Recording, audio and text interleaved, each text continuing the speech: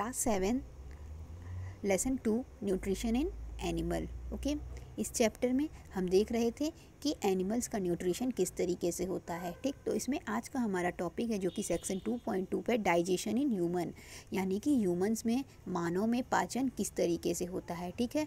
तो मानव के पाचन तंत्र के बारे में हम इस टॉपिक में पढ़ेंगे और आगे हम इसके बारे में डिटेल में जानेंगे भी। तो चलिए स्टार्ट करते हैं और देखते हैं इस टॉपिक को इसमें क्या दिया हुआ है।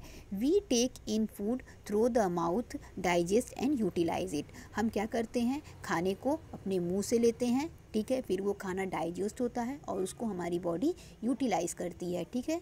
The unused part of food are defecated जो अनयूज पार्ट होता है, ठीक है, हमारे फ़ूड का जो यूज़ पार्ट नहीं होता है, जो अनयूज पार्ट होता है, वो हमारी बॉडी से बाहर निकल जाता है, ठीक है डिफिकेटेड हो जाता है। Have you ever wondered what happens to the food inside the body क्या आपको कभी यह जानकर आश्चर्य हुआ है? ठीक है, या फिर कभी आपने यह जानना चाहा है कि जो भी खाना हम खाते हैं, उसका हमारे शरीर के अंदर क्या होता है?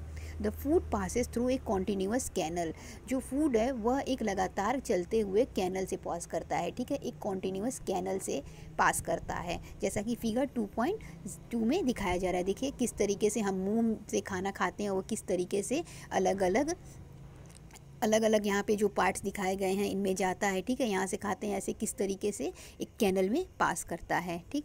Which begins at buccal cavities and ends at anus देखिए, जो कि कहाँ से स्टार्ट होता है? माउथ यानी ब्यूकल कैविटी से स्टार्ट होता है और यहाँ एनस पर जाके इंड होता है। ठीक है? ये canal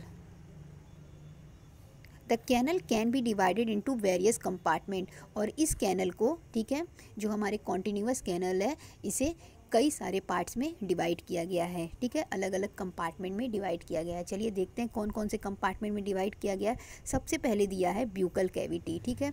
ब्यूकल कैविटी या फिर उसे हम माउथ भी कह सकते हैं, ठीक? यहाँ देखिए, उसके बाद है फ़ूड पाइप और ओसियोफेगस उसके बाद खाना कहाँ पहुँचता है? फ़ूड पाइप में या फिर इसे हम ओसियोफेगस भी कहते हैं। उसके बाद तीसरा दिया हुआ है स्टमक ये देखिए स्टमक में पहुँचता है खाना, ठीक है?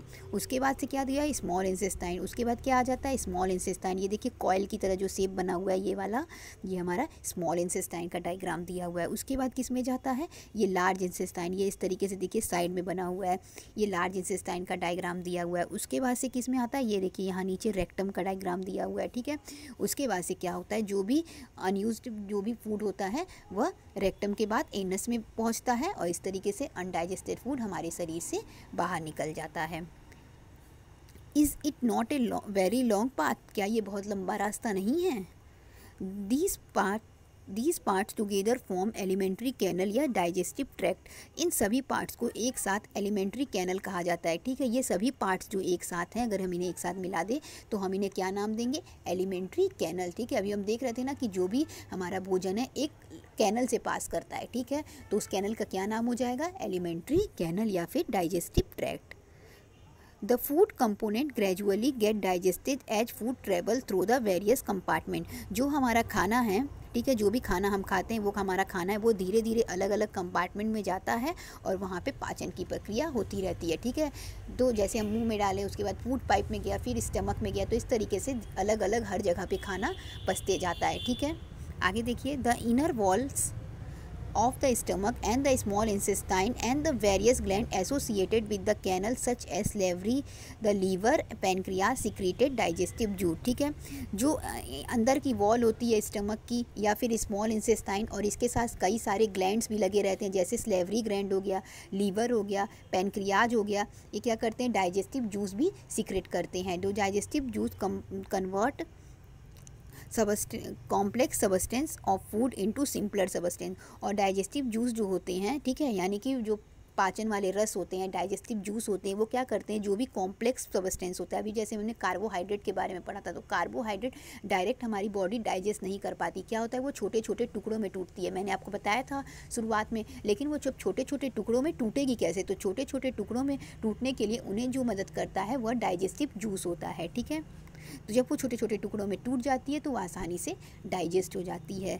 The digestive tract and associated glands together constitute the digestive system तो जो भी डाइजेस्टिव ट्रैक्ट हो गया यानी कि एलिमेंट्री कैनल हो गया, वो और उसके साथ जो भी ग्लैंड लगे हुए थे स्लेवरी ग्लैंड लीवर पेनक्रिया ये सब मिलके क्या बनाते हैं? डाइजेस्टिव सिस्टम बनाते हैं, ठीक है? Now let us know what happen to the food in different parts of the digestive tract तो अब हम पढ़ेंगे इस डाइजेस्टिव ट्रैक्ट के या इस एलिमेंट्री कैनल के अलग अलग जो भी पार्ट्स हैं, उनमें कहाँ पर क्या कार्य होता है, ठीक है? इसको हम एक एक करके वन बाई वन पढ़ेंगे।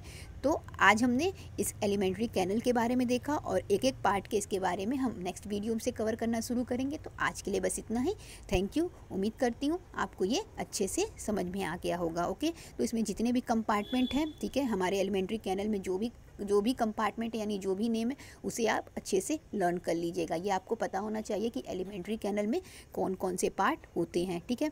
इसे आप सीरीज़ से लर्न करिएगा, जैसे ब्यूकल कैविटी से लेके एनस तक लर्न करिएगा, ठीक है? तो इससे क्या हो जाएगा कि आपको ये पता रहेगा कि जो हमारा फ़ूड होता है, वो डाइजेशन कहाँ से शुरू होता है और कहाँ पे एंड होता है और किस तरीके से होता है, इसे हम आगे देखेंगे ओके थैंक यू